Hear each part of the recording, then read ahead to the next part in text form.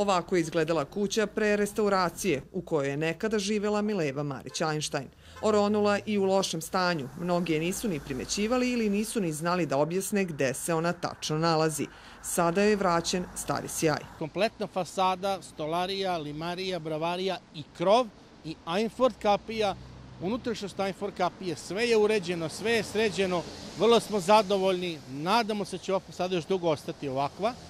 Na ponos ovog grada i ovog naroda i potomaka i opšte tog, e, tog velikog dela koje je uradila, koju nosi Mileva Marić Einstein. Obnovu prizemne kuće u Kisačkoj, koju je 1907. godine sagradio Milevin otac Miloš, izvela je firma MPN Gradnja po ceni od 9,6 miliona dinara.